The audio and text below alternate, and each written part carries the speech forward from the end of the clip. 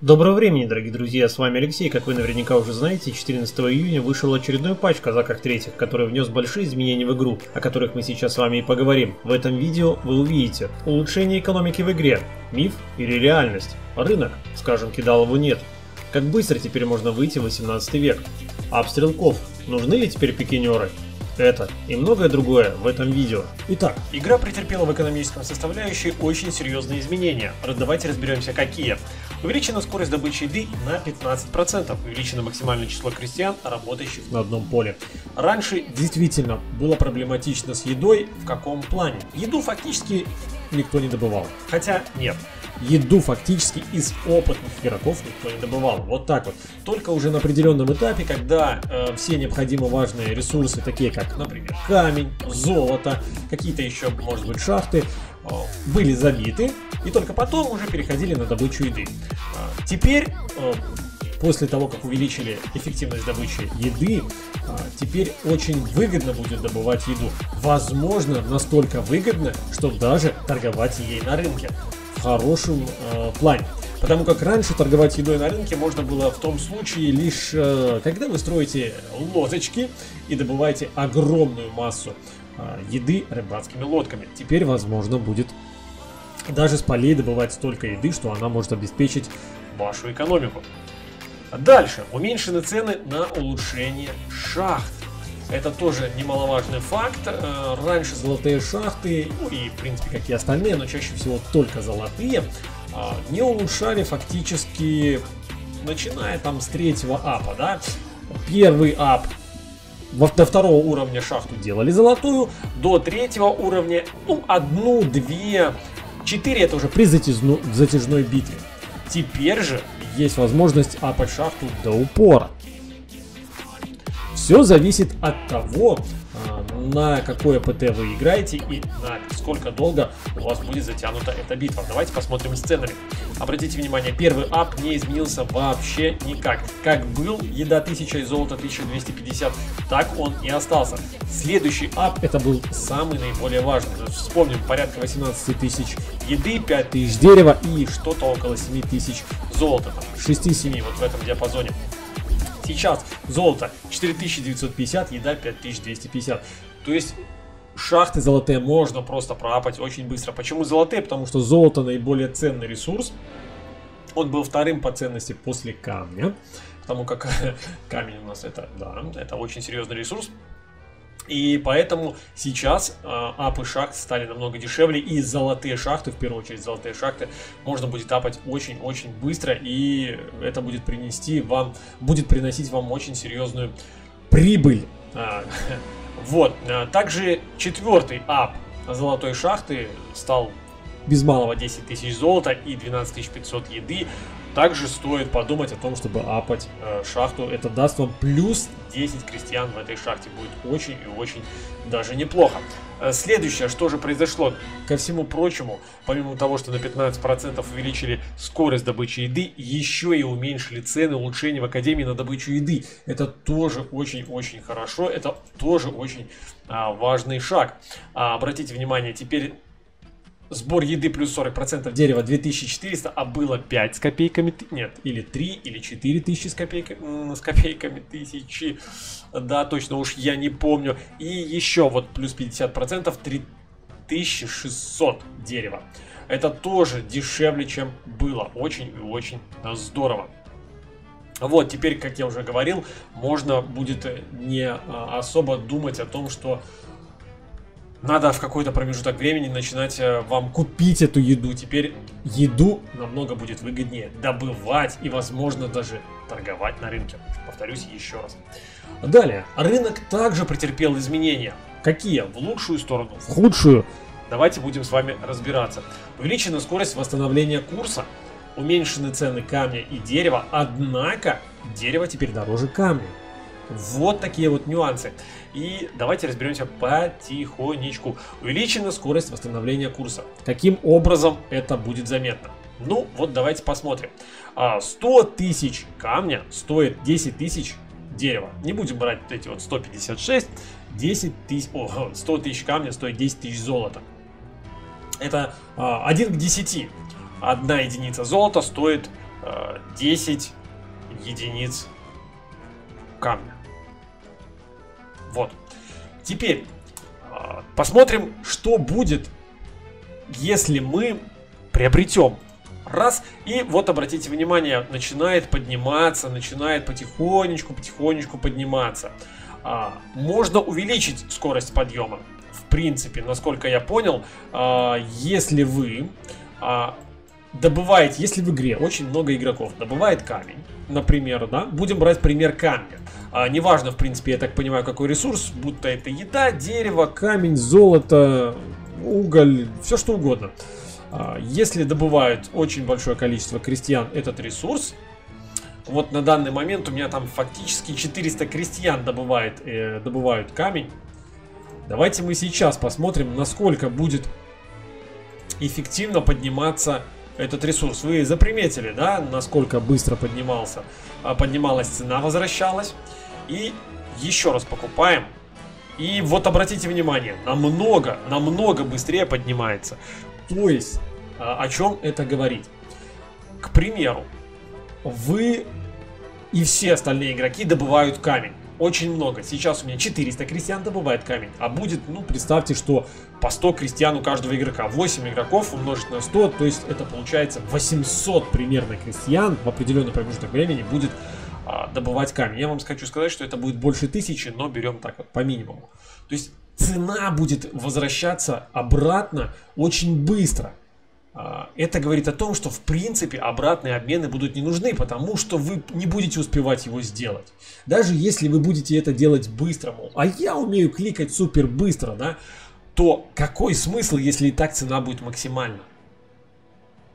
Вот давайте я сейчас сделаю, например, обратный обмен. И сколько теперь стоит? Ну, фактически, и она возвращается обратно. Она возвращается обратно, и, ну, там вы успеете, но вы не выиграете той скажем так, вы, вы потеряете. Вы просто проиграете э, потеряете очень большое количество ресурсов. Поэтому теперь невыгодно делать обратные обмены. Если вы добываете камень, и все остальные, и, и большинство игроков добывают камень, то есть даже если вот 400 крестьян добывает камень, уже будет неэффективно делать обратные обмены. Как только поменял кто-то э, достаточно большое количество ресурса на, к примеру, камень, на золото, то через какое-то мгновение этот ресурс восстановится, ну буквально там несколько секунд, десятки секунд, все восстановится. То есть вам достаточно просто зайти, к примеру, чтобы узнать цену, да, нажали, посмотрели, ага, вот такая вот такое соотношение. Значит, не надо делать обратный обмен. Значит, его не стоит делать. Либо оно поднимается, подождали, как, пока оно поднялось до нужного вам э, момента и обменяли. Либо же просто сразу обменяли, если этот обмен сразу находится в таком, как надо, э, ценовой категории, да. Следующий момент. Увеличены цены камня и дерева. Э, это вот мы уже разобрали. Однако дерево теперь дороже камня. Теперь давайте посмотрим. Раз и дерево в полтора раза дороже камня. В полтора. Значит ли это, что теперь нам лучше добывать дерево, а не камень? Ну, наверное, нет. Потому как камень добывается в три раза быстрее. Примерно, ребят. Примерно в три раза. Давайте вот мы посмотрим. У нас получается плюс 300% к добыче камня дает. Но только плюс 100% к добыче дерева. Позднее мы еще более подробно разберем этот момент, сколько крести... 10 крестьян там добывает за определенный момент там дерева, сколько камня, сколько золота. Это будет сделано отдельное видео. На данный момент мы разберем просто обновление, вкратце. То есть все равно э, добывать камень выгоднее, потому как первое, все будут добывать камень, и камень будет восстанавливаться быстрее. И будет фактически всегда максимальная цена. Это раз. Второе, дерево будет добывать меньше игроков, соответственно, дерево будет восстанавливаться медленнее, поэтому вам надо будет либо делать обратный обмен, либо ждать, ну, либо, может быть, вы попадете вовремя там, да, и будет все хорошо. Поэтому дерево это такое, возможно, на начальных этапах вам стоит при развитии, например, взять эффективность добычи дерева плюс 100%, не беря а, повозочку, тачечку, а, а потом сразу же взять кирку после этого, да? Может быть так лучше. Это надо будет еще смотреть и разбираться. Но, тем не менее, кидалову на рынке нет. Обратному обмену на рынке нет. Вот так-то. Далее. А что же еще нового вышло в этом обновлении? Патч, как оказался, на удивление большим и который вносит действительно серьезные какие-то изменения в игре. Далее, защи... деревянная стена. Защита поднята с 15 до 95. Это здорово. Позволяет некоторое время стоять против наемных лучников, но не выдерживает гранаты. Ну, как мы помним, деревянную стену могли уничтожать абсолютно все юниты. Без каких-либо проблем. Но, но был такой момент, что как бы она очень легко сносилась. По сути дела, строить ее не было смысла, потому как под, подбегают э, какие-то конники быстрые, уничтожают ее, забегают к вам на базу и все. И редко кто ей пользовался. Во-первых, крестьяне заняты, а во-вторых, э, как бы она не приносила никакого профита. Но теперь же она будет подороже в ХП и вернее, потол потолстее, потолщее, можно даже так сказать, как вам будет угоднее, потолще. Э, да, и плюс ко всему прочему, э, после в этом же изменении, э, в этом патче было улучшено, ускорена скорость постройки стены, как деревянной, так и каменной. Это тоже очень-очень здорово. Это тоже очень здорово. И, возможно, теперь можно будет строить какие-то там крепости, какую-то защиту, потому как раньше, ну, в редких случаях использовались стены. Вот так. А, из новенького, что было добавлено в игру, добавлена возможность установки ограничения лимита населения на начальных настройках э, игры. А, это такое, то есть, э, если у вас лагает, когда большое количество юнитов, то поставьте ограничения и все будет прекрасно. А, добавлена возможность установки фиксированной скорости игры в настройках комнаты. То есть как? Большая, маленькая, средняя, либо же можно это делать вручную. Тоже очень нужная а, вещь. Вот. А, потому как некоторые игроки могут просто-напросто баловаться, играя этой скоростью. А переработан механизм критического урона. Вот тут можно немножечко поговорить на эту тему. Теперь шанс крита 4%. Крит это нанесение случайного дополнительного урона от 0 до 400. А, на мой взгляд, слишком жесткая разбежка. 0,400, кто-то будет наносить 0, 1 там, да. Кто-то будет наносить 400, это неправильно. А, опять-таки 4%, ну, как бы все верно. Но, а, ладно, с этими 4%, но от 0 до 400. Ну, почему бы не сделать, например, что крит это двойной урон? Ну, допустим, у стрелка там урон э, 15 будет наносить 30. У одного, да, у другого урон 48 будет наносить там 96. Все. Вот такой, на мой взгляд. Ну, 0.400 слишком жесткая разбежка. Кто-то будет шотить, кто-то будет а, наносить мало урона. Это на мой взгляд, это неверно, но разработчикам здесь виднее. Добавлена возможность создавать формацию из 15 человек. Тоже очень здоровская фишка. Во-первых, очень хорошо на нуле. А, ПТ, то есть вы можете не сдать формации 36, а вот 15 а, человек построили формации, и уже у вас плюс 2 к атаке, плюс 2 к защите, это здорово, и пошли в атаку. Либо же это очень хорошо для защиты, э, что здорово. Вы можете построить таких вот квадратиков и наставить их по базе, это тоже будет э, очень-очень классно против конницы, там, либо вы выстроили их в линию, как мы знаем, что конница не проскакивает через э, вот заграждение копейщиков, это тоже неплохо. А, вот. А далее, что у нас э, еще с кораблями? Тут кое-какие нюансы. Все вы знаете, что я небольшой любитель корабли, кораблей в этой игре, потому как, на мой взгляд, немножечко все уныло. А, что же было изменено с кораблями?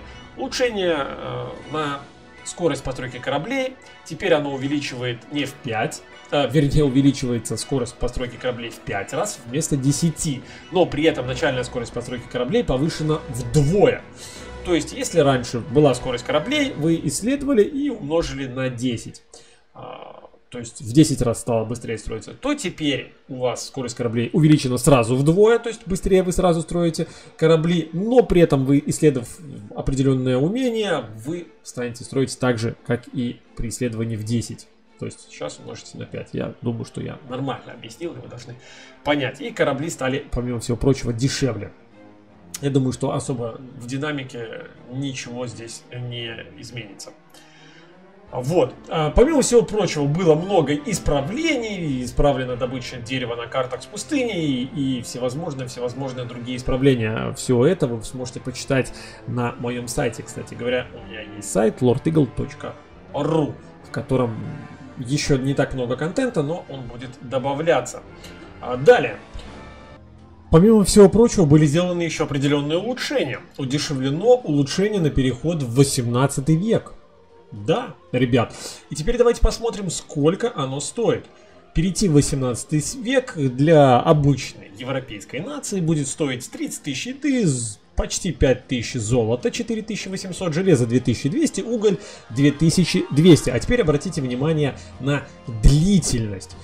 На седьмой минуте, точнее уже на начало восьмой минуты, я могу перейти в 18 век легко, в принципе, и непринужденно. Да, может быть, в каких-то моментах я тут э, что-то делал, развивался не так, как стоило бы. Может быть, лучше было бы там построить третий ГЦ, как-то по-другому развиваться, через кирку, через какой-то камень. Я вот покажу вам, какие я исследования сделал для этого. Я взял э, кирку, я взял все апы на еду. Здесь также взял ап на еду. И уже на длительность 7 минут, я могу спокойно переходить в 18 век. Просто в 18 век. Да, я никого не строил, никаких юнитов, но тем не менее, это уже возможно. Если это смог я, то я думаю, что топовые игроки смогут еще быстрее. Итак, переходим. Еды у меня просто тут немножечко упало и на какой-то промежуток времени не хватало. И да, посмотрите, 45 человек добывает и приходит очень и очень быстро. Легко и просто я вышел в 18 век. При этом, при всем, не требуется постройка конюшни. Это тоже большой плюс для этого. А, вот. Улучшена производитель, так, это не то. Увеличена стоимость воздушного шара с 1750 до 5700 золота. Это, в принципе, сделано правильно, потому как в век можно выйти мгновенно, и поэтому для того, чтобы открыть всю карту, э, вам потребуется потратить немножко побольше золота. Это верно. Уменьшены цены на улучшение в Академии, увеличение атаку, увеличивающую атаку штыком. А помним мы, что для того, чтобы исследовать вот, вот эту вот атаку э, рукопашной мушкетера 18 века игры на Дерана плюс 25%, требовалось там что-то 40 с копейками тысяч золота. Сейчас это 19 500. Более-менее разумная цена. А вот так вот. А далее, в Академии изменены цены на улучшение силы выстрела. Стоимость улучшения изменилась с 6, 7, 12 и 21 тысяч золота на 5 тысяч железа, 4 тысячи золота, 7 тысяч золота и 11 тысяч угля. Я сначала э, думал, что что это такое, почему, почему они удешевлены, помимо всего прочего, они все стали э, по 15%, хотя Хотя изменение здесь это не написано. Как говорили разработчики, что они стали все по 15%. А, но показано, что да, железо требуется для первого, для вот этого этапа, но тем не менее она дает плюс 10%. Хотя, как утверждают разработчики, они все стали по 15%. Возможно, они просто-напросто здесь не изменили э, в названии. Вот. А, я ломал в голову, зачем? Ведь теперь а, ведь теперь, ребята, по сути дела, можно сделать стрелков уже топовыми, и все будет прекрасно, все будет красиво. Но, но ведь давайте разберемся. Выход 18 век дешевый. Дешевая сила выстрела.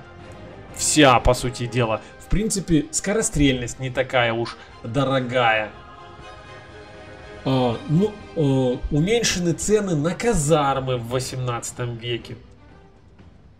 Да, казармы 18 века э, стали немножечко дешевле. Обратите внимание, 4000 золота. Помним мы, что первая казарма 18 века стоила 12 500. Первая. Следующая 25. То теперь вторая здесь будет стоить 8 тысяч золота. В принципе, это все недорого.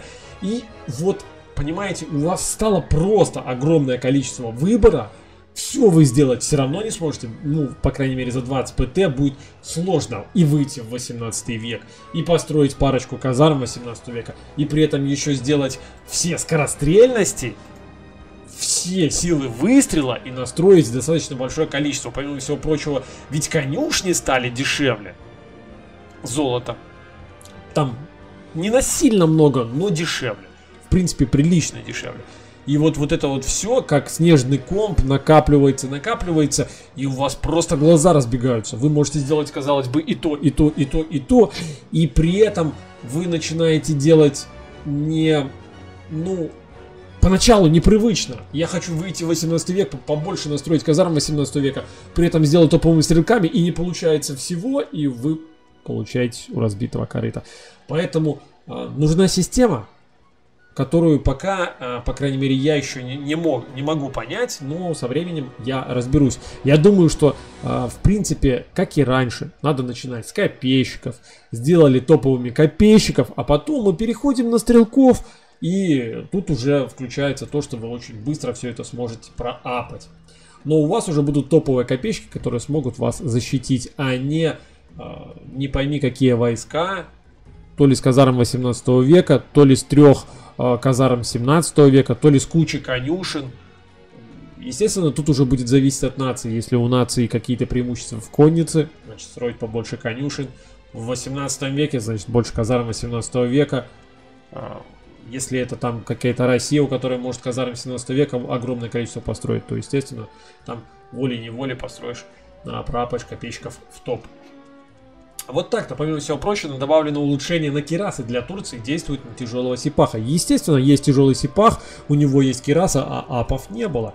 И это сделали, и это правильно. Что касается балансных изменений, то вот как раз таки о чем я и говорил, изменены цены на конюшню, артиллерийское депо и казармы 18 века. Это все правильно, это все здорово. А, все верно. А, они удешевлены, и поэтому, поэтому у нас есть уже теперь огромное количество выбора. То есть вроде бы у нас много ресурсов, и в то же самое время мы можем их потратить на разные здания. Это будет, наверное, очень здорово. Очень здорово. Естественно, все это надо будет тестировать. О чем я также говорил, э, деревянные каменные стены строятся быстрее на 33%, которым 18 века строится на 20% быстрее. Тоже очень хорошо, потому что раньше мы ждали просто очень долго, пока построится эта казарма. И не было смысла, ну, как бы, строить ее без лопаты, так называемой. Э, увеличение жалования строителям, которое стоит 9000 золота. А вот. А, да, артиллерийское депо теперь можно построить после академии, конюшня не нужна, соответственно, и для выхода в 18 век не обязательно строить конюшню, это, это, это здорово. Баланс юнитов по наемникам, там куча всевозможных изменений, так как я не особо играл с дипломатическим центром, я фактически не играл с дипломатическим центром, а, я не особо там расстроился или лучше, или обрадовался тем изменениям, да, там какие где-то увеличен урон, где-то увеличено э, время найма, уменьшено. Ну, в общем, очень много разных балансных правок, которые также вы сможете почитать на моем сайте, э, либо в группе ВКонтакте.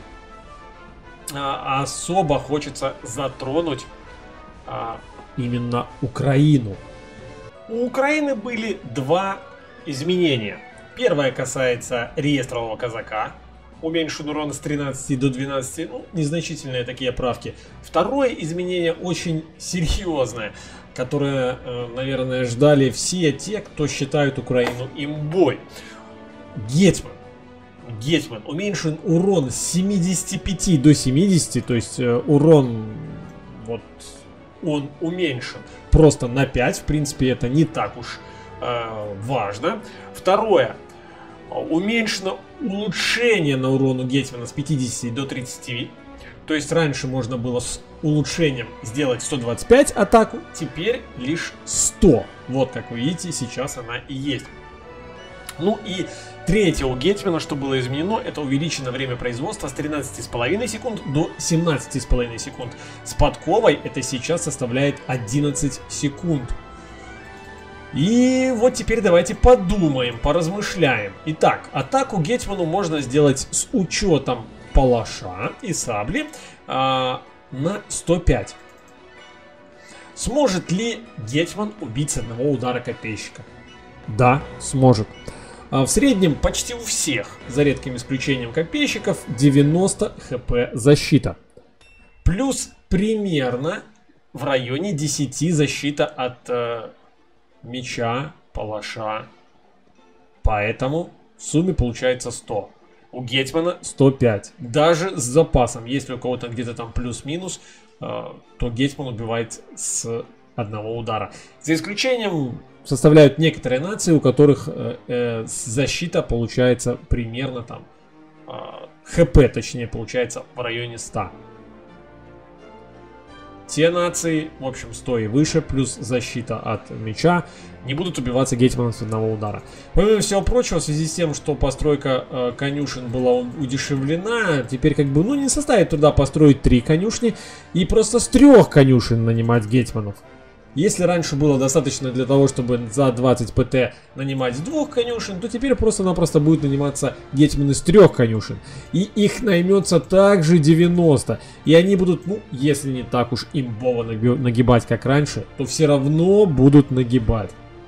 Все равно. И все равно с этим изменением Украина будет имбой. А теперь давайте подумаем, что теперь и Академии, в Академии на силу выстрела для Сердюка вы сможете быстрее прокачать. Намного-намного быстрее. И теперь как бы и Сердюк качаться будет быстрее. Если раньше, э, ну да, здесь вот требовалось большое количество еды, это все понятно. Еда теперь добывается быстрее. Соответственно, едой мы сможем обеспечить а, прокачку сердюка быстрее. И здесь дешевле э, сила выстрела. Соответственно, э, мне кажется, Украина здесь должна немножечко отличаться. Вот в этом плане. Как бы, ну вот... Я уже не помню, сколько раз э, разработчики нерфили Украину. Я не буду говорить на данный момент, вот сейчас, вот, да, что Украина все равно осталась имбой, да, потому как надо это все-таки попробовать. Ведь апнуты все остальные нации тоже. Но в данный момент незначительный нерв Гетмана, но ап еды и э, ап э, силы выстрела делают имбой Сердюка. То есть он раньше был имбой, но э, выбирая прокачку, допустим, Гетмана или э, Сердюка, мы не могли прокачать одновременно и тех, и тех за 20 ПТ. То теперь, ну, также, наверное, не сможем, но все-таки мы делали скажем так, шажок в, быс- в то, что мы сможем быстрее все-таки это все прокачать, и Украина быстрее наберет э, полную силу и опять начнет загибать. Ну, опять-таки, это все надо будет тестировать. Ну, помимо всего прочего, были еще такие балансные планки, которые, опять-таки, вы сможете прочитать. Там добавлено например, уменьшено потребление пищи на 10% у крестьянина Алжира Турции, да, увеличен урон после всех улучшений на 2 у легкой пехоты Алжира и Турции. Таких изменений было тоже достаточно, достаточно большое количество. Еще одно изменение, которое я хотел бы, а, про которое я хотел бы сказать. Почти все стрелки 17 века, в скобочках, кроме сердюков, стали строиться на 0,5-1 секунду быстрее. А, вот это вот скобочка как дополнение мне очень понравилось, потому что если бы еще и сердюки еще и начали быстрее строиться, это было бы вообще катастрофа. Вот. Почти все конные стрелки стали строиться быстрее. Стрелки 18 века без стрелков э, уменьшены цены на улучшение защиты. А, то есть там у многих э, там уменьшены цены на улучшение защиты. Это у стрелков там э, у остальных юнитов у некоторых остальных юнитов. Вот то, что почти все стрелки 17 века э, стали строиться быстрее, и конные стрелки также строятся быстрее, теперь значимость этих стрелков возросла. И на мой взгляд, просто-напросто надо плавно переходить с копейщиков на стрелков, чтобы все юниты в какой-то промежуток времени были задействованы. И э, это правильно. Но опять-таки все будет тестироваться и проверяться. Ну что ж, в принципе, это был весь обзор нынешнего обновления. С вами был Алексей, всем спасибо и пока-пока. Всем добра.